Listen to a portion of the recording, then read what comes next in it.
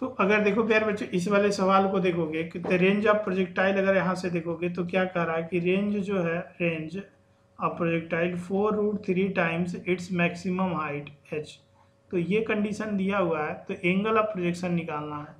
तो देखो, या तो तुम्हें फार्मूला याद हो रेंज इक्वल टू कितना होता है? फोर एच कॉट थीटा तो ये फार्मूला याद है तुम्हें तो इसका भी यूज़ कर सकते हो, जो पिछले वाले क्वेश्चन में बोला था, याद कर लेना, बहुत क्वेश्चन बनता है। या नहीं तो डायरेक्ट इसको सॉल्व कर लो। पहले देखो आ, अगर इस फार्मूले से करूँगा तो अपना टाइम बच जाएगा। तो आर की वैल्यू कितनी है? Four root three times H और that is four H that is cot theta इसका मतलब ये हुआ कि फोर एच ने फोर एच को रूट थ्री हो गया तो ये जो है रूट थ्री कितनी होती है?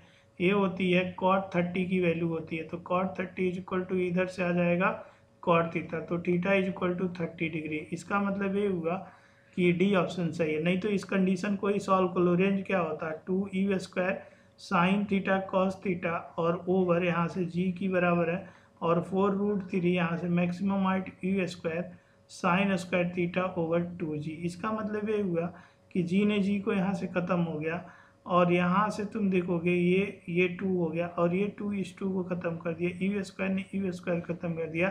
साइन थीटा ने साइन थीटा को एक ख़त्म कर दिया। तो कुल मिला के वन बाई रूट थ्री इधर और इधर साइन थीटा अपन कॉस थीटा बचा तो साइन थीटा अपन कॉस थीटा आ जाएगा टेन थीटा।